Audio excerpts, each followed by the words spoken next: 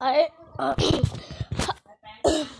hej og velkommen til den Hej og velkommen til den her video. Øhm,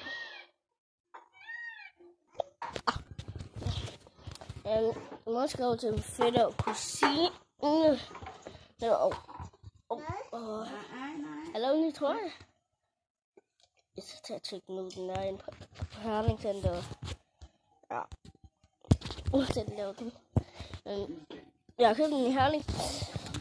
Og det er lang tid siden, jeg lavede en YouTube-video.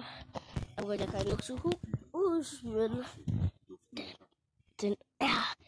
Den er... I synes det, men det synes jeg ikke så meget. Men... Mm, det er bare fordi, at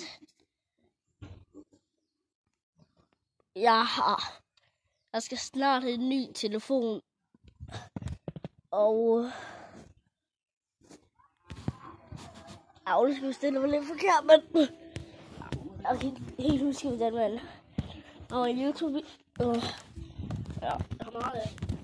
Jeg har ikke en ren værelse. Jeg synes, jeg skal holde mig. Undskyld, det her. Troldspand. Ja. Det har jeg fået æske. Marshmallow. Marshmallow. Og Nå, skal jeg kigge. Jeg skal lave pølser. Uh. Jeg skal lave pølser. Så.